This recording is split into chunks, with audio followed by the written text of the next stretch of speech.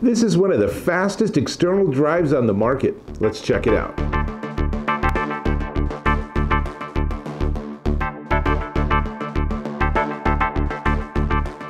Dave Taylor here, and I'm looking at this today. This is crazy cool. This is the Samsung X5 portable SSD drive. SSD drive's a little redundant, but roll with me here. This is crazy fast. This is probably the fastest device on the market right now. This is the 500 gig version. It also comes in one terabyte and two terabytes, and it's mighty expensive compared to a regular hard drive because it's anywhere from 10 to 25 times faster. We're gonna run some speed tests and you're gonna be sitting there with your jaw on your lap and you're gonna say, oh yeah, I need one of these.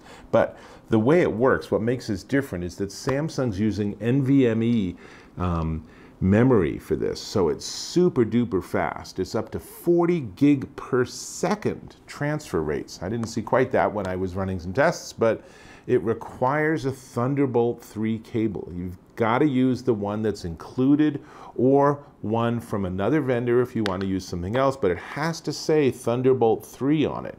If you use the wrong cable, when you go to plug this into a Macintosh, for example, you just get an error message. That will make you sad, right? so it is compatible with Mac and Windows, but you need a pretty high-end machine to be able to drive it. Check your specs, check them against Samsung specs before you buy one of these. Some people have not done so, and they've been very disappointed or frustrated understandably, right? So when you plug this in, I'm going to look at it on the Macintosh side. When you plug it into a Mac, you should be able to go to Hardware Report, which is off your About This Mac, and you should be able to see in the Thunderbolt section, as shown, that it's showing up as a Thunderbolt drive. You have basically two options. Either it's going to work or it's not. So you'll never have it work on a slower speed because it requires that Thunderbolt 3. But super easy to work with, right? So you plug it in, it needs no external power or anything. Plug it into, on this particular MacBook Pro, this is a 2019 MacBook Pro, so all four USB-C are also Thunderbolt 4 or Thunderbolt 3, so that makes that easy. Some devices might have specific ports that are for Thunderbolt and others that aren't. If so, generally the manufacturer will indicate with a little lightning bolt and a 3 or something like that. So know your hardware because that's going to make a difference too. Now, the measured speed, they say you should see, and I love the red, so I'm going to show that side. you should see up to 2,800 megabytes per second read and 2,300 megabytes per second write. Now, I'm a big fan of testing rather than just talking about the in manufacturer specs, so we'll do that. Again, just hang on a second. So it's a full metal body. There are no moving parts in this. That's right, it's an SSD.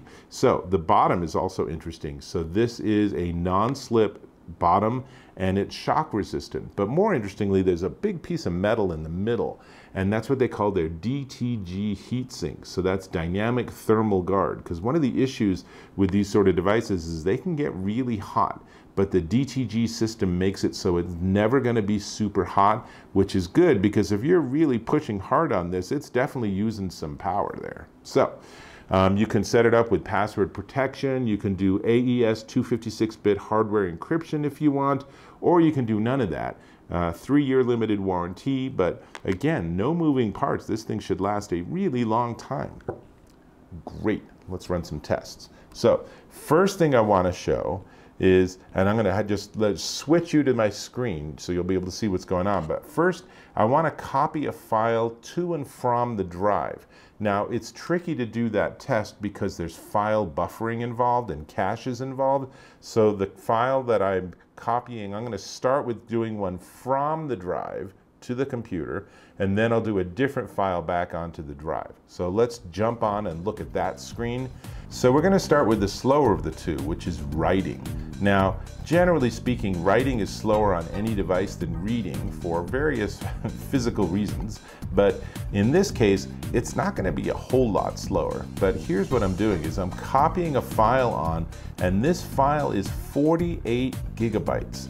That's a really big file. Now, normally, if you were copying that onto an external drive, you'd probably be thinking that it's time to go grab lunch or something, because it's gonna take a mighty long time. But you know what? it doesn't really take a super long time with this. Now it's still, you know, gonna take a minute or so, but look at how fast that increments on how much data is being copied across. This is super fast. It's really, really fun because you're probably, like me, used to slower drives.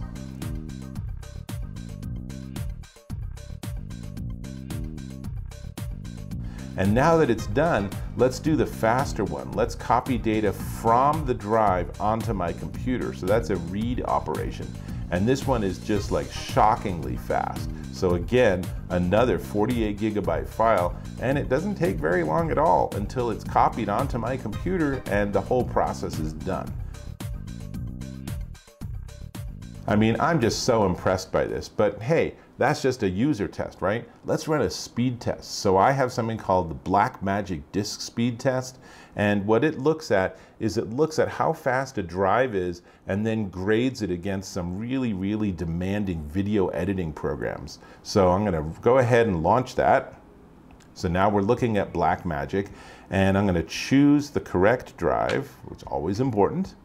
And now we're gonna just start the test and it's just glorious. I've never tested something and had all green checks. This needs a lot of bandwidth, a lot of data throughput for it to give green check marks for everything. And it is absolutely saying this is crazy, super fast. You are totally good with anything you want to use this for, including 4K video editing live. So with all of that, you can see this is just really pretty glorious. It's just a really great drive. Now, it is a little spendy, not crazy expensive. I mean, if you're someone who needs this level of power, then this is an entirely logical investment. But boy, it's really great to be able to actually use that Thunderbolt 3 speed because it is a super fast connection. So let me talk about the price. But before we get there, I'm going to ask if you can subscribe to my channel. Really appreciate when you do that. Great. It's just that little button on the bottom. Just tap or click and you're subscribed. Easy enough. So, all right. So let's get here.